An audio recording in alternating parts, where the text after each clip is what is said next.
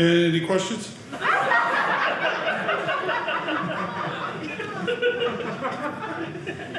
I have to forgive me, I'm a little, uh, a little disheveled.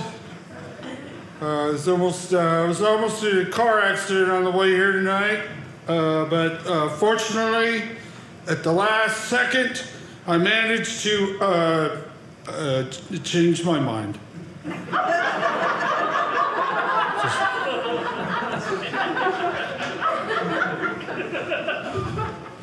Just learned around here that it's probably best not to use a turn signal. It's just, uh,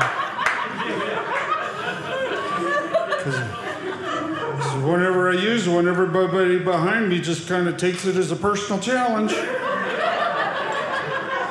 Hey, I think that dude's trying to get off on the next exit. Bring it on!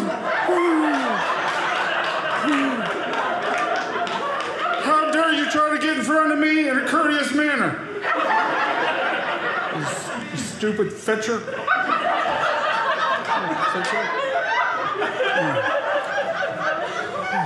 Um, don't don't get me wrong. I've a, uh, I have a beautiful beautiful heart. I love people. Um, grew up. I grew up uh, in a religious family.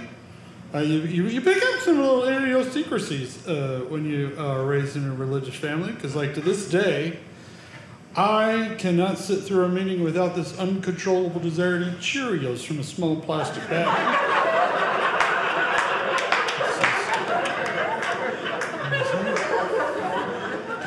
now, if you didn't know why that joke was funny, please find someone who did, and we have a special message that we would like to share with you.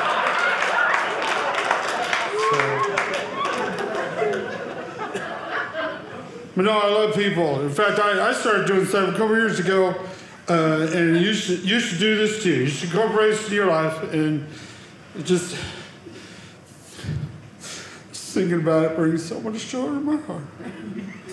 What happened was I was I was driving down the road and I saw someone on the side of the road. They needed some help, but I didn't stop and help. I just kept on going. I just kept on going. Didn't put any two two mind second uh, nothing to it. Right?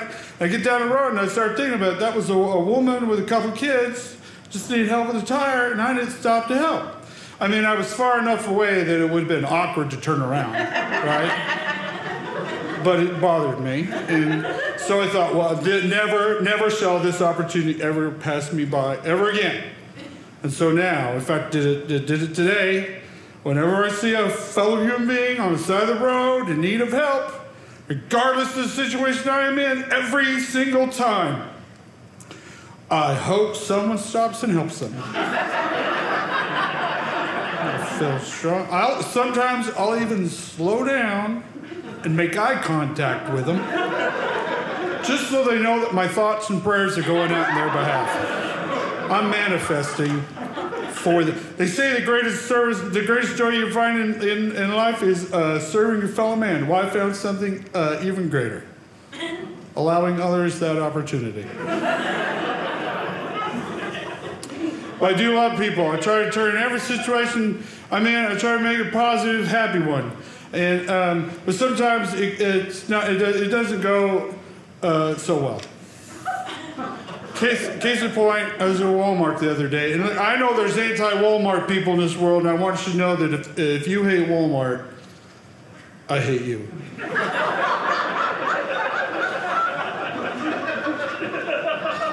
and if there's anybody, if, there,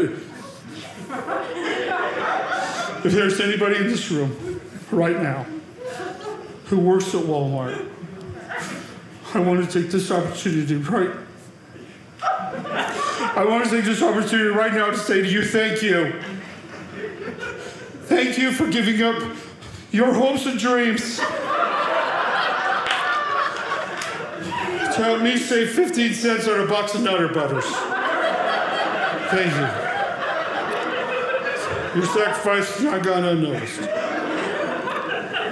Well, so anyway, there I am. I'm in. I'm in. The, I'm in the Walmart. I'm in the dog food aisle because I'm getting the jerky treats because they're cheaper than the regular jerky.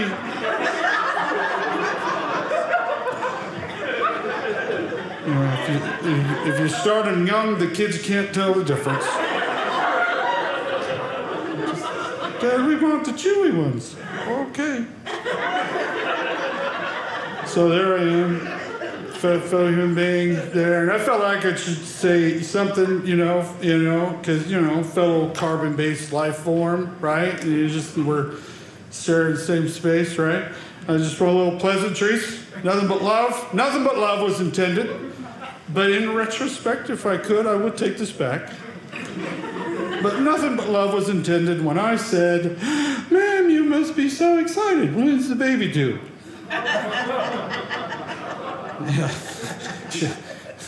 That guy was pissed.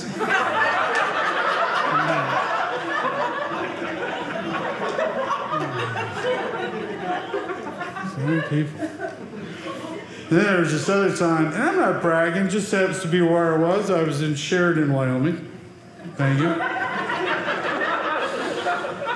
I'll share this with you. I was driving my minivan, because I know you're looking at me going, uh, Rodney, a man of your seen caliber drives a minivan? Oh, yes, I keep one in the fleet. Because I got to do uh, some keep ba- the ladies uh, back up off me.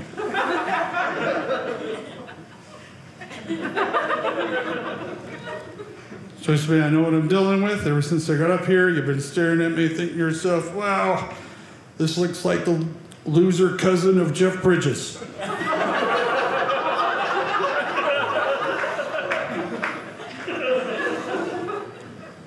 Some of the older people staring at me thinking, he looks just like Kenny Rogers at the time he decided to get plastic surgery.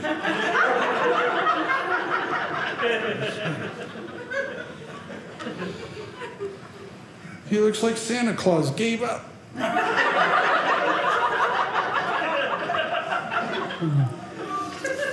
Sorry there, I'm getting, uh, I get the liquid petroleum from my ride. They got a little store there, and inside the store, beverages and snacks. I'm a big fan of the beverages and the snacks. so I start heading into the store, okay? And uh, as I'm walking, it's along the big parking lot. Wyoming, they got a lot of space. They got everybody's driving, you know, uh, tractors, and they got everybody's got trailers, so they're all coming to town for provisions. So all space. So there's a distance uh, from the from the liquid petroleum pumps to the to the store, right? So I'm walking, I'm walking to the store. Here's what happened. This dude is coming out of the store at the same time, right? He's got a couple things in his arms, and he looks over at me as he's standing there, and he just stops, holding the door with you know with the with his butt. Which I might add, it's perfectly suited for. If you ever get in an argument about intelligent, intelligent design versus evolution, you throw that one out at him, boom, you win, checkmate. You ain't coming up with that by chance. So dude sees me and I see him, you know, it's kind of that awkward moment. I'm kind of like,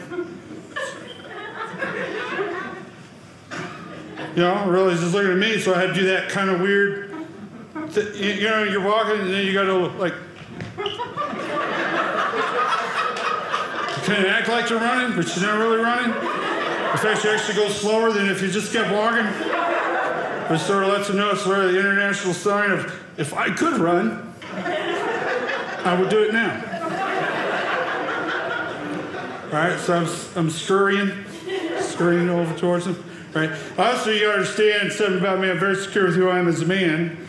Uh, that I can handle uh, another man holding a door for me. Very secure. Fact, I'm so secure with who I am as a man. I can give another man a hug, a good hug, not that weird handshake and tap on the shoulder thing we do, that's just gay. or sometimes we do the two taps and you're out hug. Two taps, quit touching me hug, you know what I'm saying? Not me, two taps, I go in tighter. I'm feeling it from the dude, I'll lift him up and pop his back. That's how secure I am. So I get, I get up, I get, I get to his door, right, right, and I, and, I, and, I, and I go, hey, right, because that's what we do, dudes. We're just, hey, so we need everything we need to say, right? Say, hey, thanks, you're welcome. Uh, if you had time, I'd go, you know, come fishing with me. Well, I'd really like to. We're just passing through. Yeah, well, uh, I got a nice boat. Hey, that's pretty cool. Is that was that your boat over there? Yeah, that was my boat. Uh, that's pretty cool. All that with. Uh, all right, because because if it's two ladies, it gets weird. You know what I mean? It's got to turn into a thing. Right? You know what I mean? Because one lady's like. Hey, I just uh, wanted you to know that I really appreciate that you took your time uh, to wait for me and stand here and hold the door because you didn't have to hold the door because I was so far away that you could have just kept going and you didn't have to stop. But obviously, you got things going on in your life and you got all of arms are full of stuff and your family's probably waiting for you. And you just took a moment to hold the door for me. And I just want you to know that even though it wasn't, it's not a big thing, it is a big thing to me. Just because it's the little things that really matter. And I just want you to know that I totally and truly appreciate what you've done. Well, I want you to know that I truly appreciate that you took on time to appreciate what I was doing, because I'm not trying to make any big statements. I'm not trying to break down the patriarchy or anything. I'm just trying to be a nice person. And people just need to be nice to people. And don't, people are just so mad about everything and all the time. And I just think just little tight pleasantries, just being nice to each other is what we really need to do. That is so true. I just completely understand exactly what you're saying. I think that we need to show the world that there are still nice people in this world. Would you let me take a picture of you? Can we take a picture? Let's get a picture. Just right That is perfect. I'm going to post it. I'm going to put it on my Instagram. It's just. Um, now, what's your name again? Robin? Okay. Oh my goodness, you know Denise from Denver? You know Denise from Denver? Well, of course I know Denise from Denver. We've been friends forever. We used to do LuLaRoe together, and then we got lots of stuff, and people weren't buying the LuLaRoe because it's like uh, once you have, you know, 10 or 7 pieces of LuLaRoe, you pretty much have everything you're ever going to need from LuLaRoe. And so then, so then we decided, you know what we should do? We should do the candles. And so we started doing the, um, we just started doing the New England candles because uh, they were really nice, but they have the, they came out the three wicks, and I just didn't understand why you have to do the three wicks because they're already strong enough with one wick, and then you do the three wicks, it's just too strong. Then you gotta open the window, and then what's the point of having a candle you're just gonna open the window? And then, but if you only light one of the wicks, it burns down off out one side, and then it gets scatty wampus, and it kind of ruins the aesthetic of the candle to begin with. It, it just kind of defeats the purpose if you have just three wicks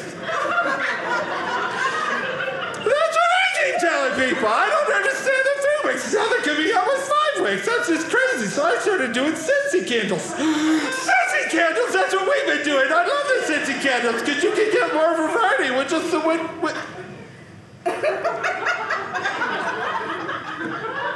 Or, you know, something like that.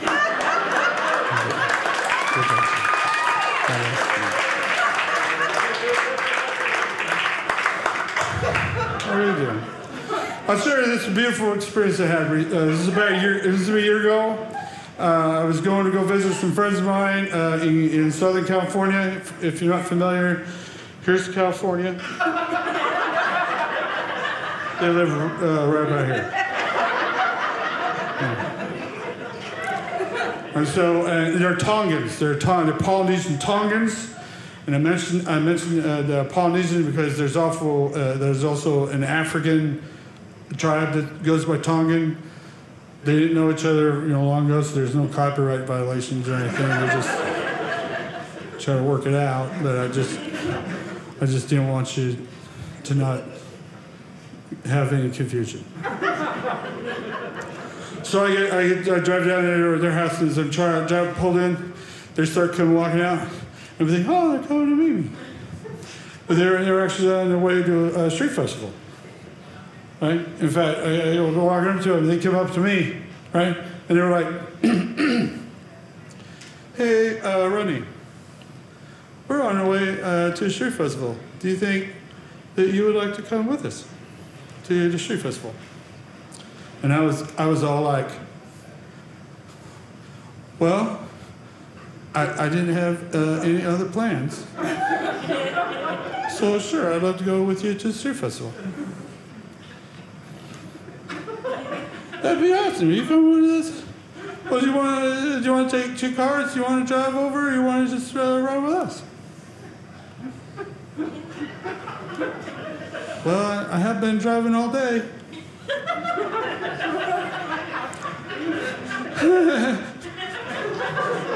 you always make me laugh.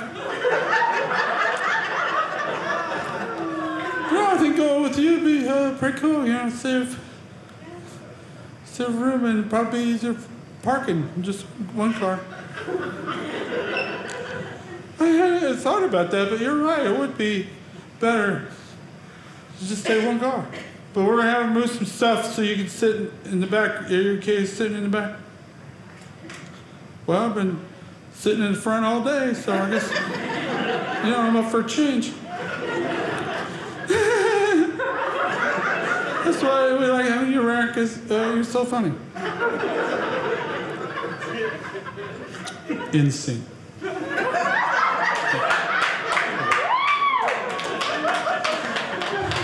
So we get there and there's we get we get there and there's of course more there's more Tongans, and then there were uh, and then there were uh, Samoans. They're also uh, uh, Polynesian, but they're they're really closely re- related. Like a long time ago, they were like together, and then there was a thing, and now they're not. And there's no African equivalent to Samoan. They're just they got the name all clear themselves. Now, the easiest way to tell the Samoans from the Tongans is by the way they make macaroni salad. In case you're wondering.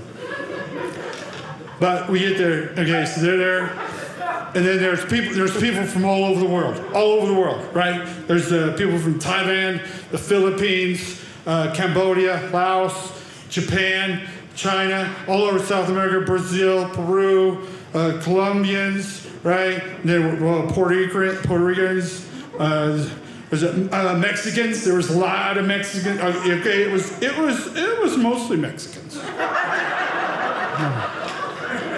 but my point my point is is that nobody cared where anybody was from. Nobody cared uh, what anybody's political affiliation or religious affiliation was. Nobody cared where you were from. It was just, nobody cared what color skin you were. We were just dancing, listening to music, and eating each other's food, and just having a great old time. And we were there just having a fun celebration because we were there to celebrate the only race, and that is the human race, my friends. And that's what we were doing. And it was a proud, proud moment because I was like, this is what America's about coming together the best of the whole world just getting together. This is what it's about. Very proud moment. It was also at this moment that I realized that I uh, was the only white guy there.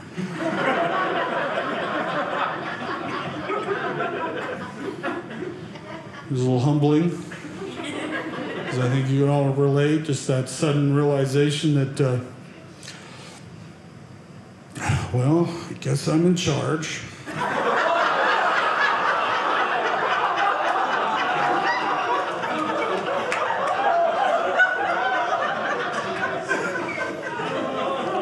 Oh, you fellas got a permit for that flame? Open flame? Just here to help. Now, I'd like to point out that there are two groups of people who are offended by that joke. The first group is white supremacists, because that's who the joke is about.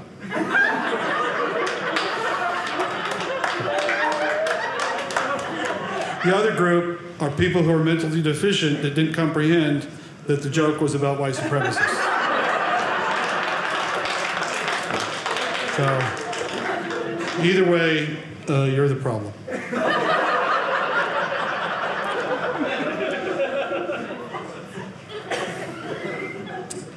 And, one, one time, I remember, I used to, I love going to church. Love church. There was one time found, there was a lady at church, found out what I did for a living. And she was like, um, you know, Brother Norman, the scriptures teach us that um, loud laughter is not approved. And I said, Well, Sister Johnson, if you've ever seen me perform, you know that's not a problem.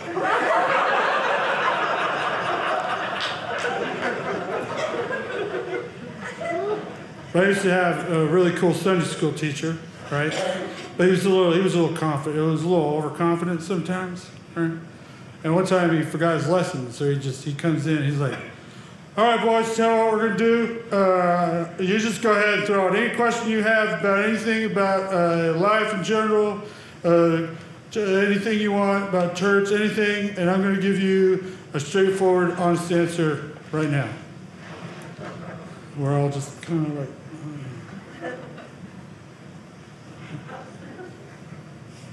Excuse me? Uh, yes, uh, Brother Norman. Okay, um, okay, is God, is God omni- not omnipotent? Well, yeah. Okay, is, is God omniscient? Yeah. Okay, well, if God is all powerful and He's all knowing, would He not know everything we're going to do before we do it? And then if He allows us to do it, even though He has the power to stop us from doing it, if He allows us to do it, would not then anything uh, that we do then uh, become God's will, thus making uh, free agency an illusion?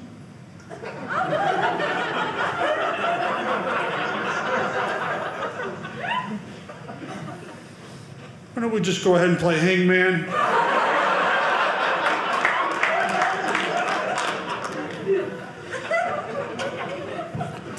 And uh, later on, I took I studied philosophy because I want to find more, I get more answers. So for, I went to college to philosophy. It was, uh, it a little weird. It's the first day of class, right?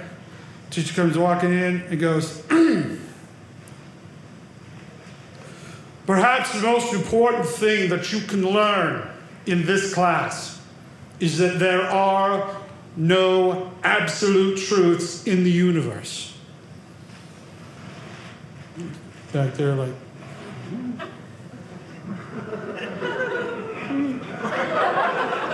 yes.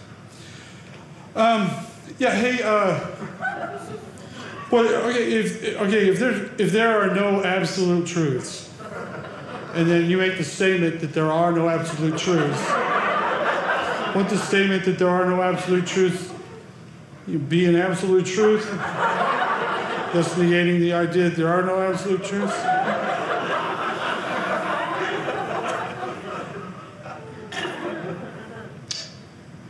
Perhaps we should just play hangman.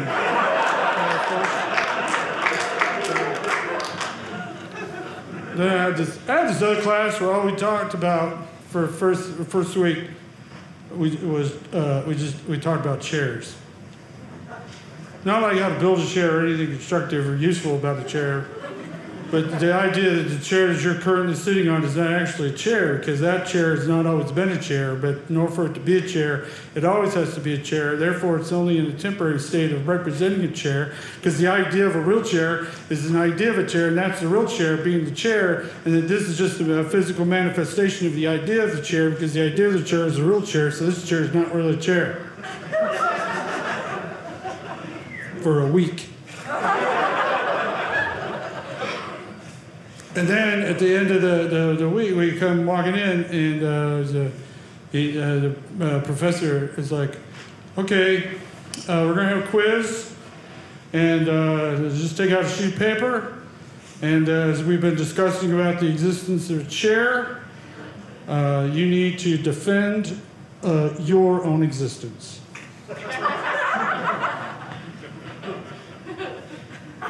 Sitting there thinking, man, maybe it's not too late to go change my degree to something real like, you know, English. so I just started thinking about it, and then I finally just got up. I got up and started walking out, and the teacher, the professor said, hey, hey, excuse me, where are you going? And I was like,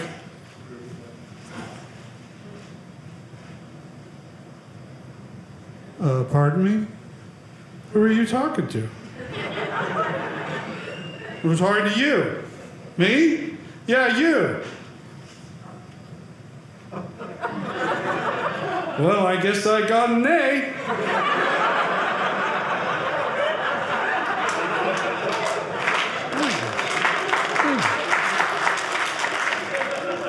I, I'll share this with you. I, you know, I don't understand why everybody gets so bent out of shape and uh, stuff anymore.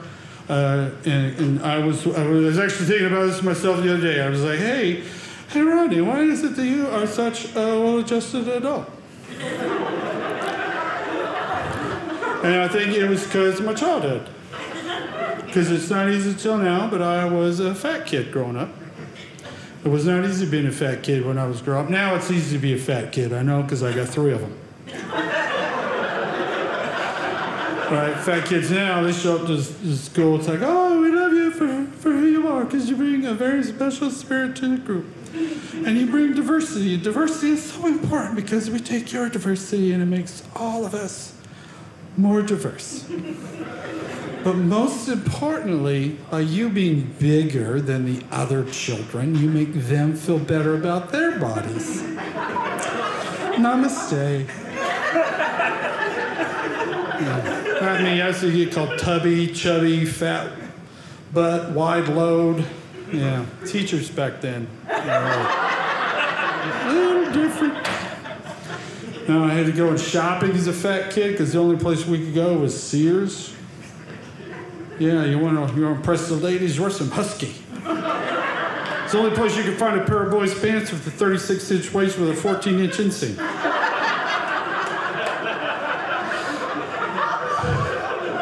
But the worst thing for us fat kids was the playgrounds. They were horrifying. I mean, if you go to playgrounds now, everything well built, low to the ground, easily accessible for every single child. They're set up according to feng shui standards. There's uh, nice chi energy flowing around in there. Bright, cheerful colors everywhere so that every child can resonate from all seven chakras. Antibacterial coatings on every surface so if little Timmy starts gnawing on the bars, let him go. It's good for his gums. But not my playgrounds, no. My playgrounds, when they built this stuff, it was built by a bunch of old dudes who wanted to teach you a lesson. I made everything of stainless steel. You could not look directly at the playground equipment during daylight or you'd go blind. So, during the winter, you had to double layer because if your exposed skin touched the metal, it would stick. During the summer, you had to find a stupid kid to go down the slide first to see if he would burn. Hey, it's only the second degree. Keep your knees up. Let's go. These slides aren't around anymore. They all got taken down because of OSHA standards and FAA flight patterns. They were 135 feet in the air. You had to go on the ladders on a 91 degree angle. Had American Standard on there, and if you slipped on the way up, you had that imprinted on your forehead for a week. hey, I'm learning Braille. Then you get to the top of the slide, you, this is for us fat kids. Because if we could actually make the climb, in order for us to go down, we had this horrifying situation that we to go sideways because you could only get one cheek into the channel. Plus, you had to keep one of your legs free to scissor kick to keep your momentum going. You didn't want to get wedged in because then they had to bring the jaws of life to get you out. Then you get down to the bottom of this thing, four and a half foot drop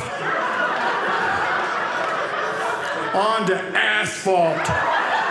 Uh, in fact, we had monkey bars 19 feet their apex over asphalt.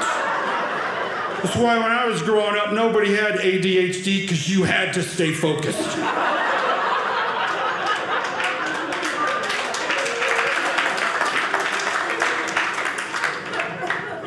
This concludes uh, my presentation.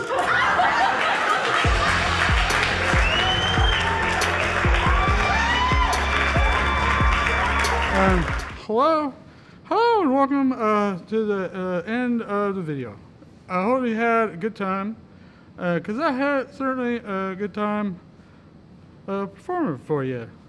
And I'd just like to point out that obviously you are horrible with money, and you should not be trusted with it. So just give uh, all me, all of your money uh, to me, and your life uh, will be better.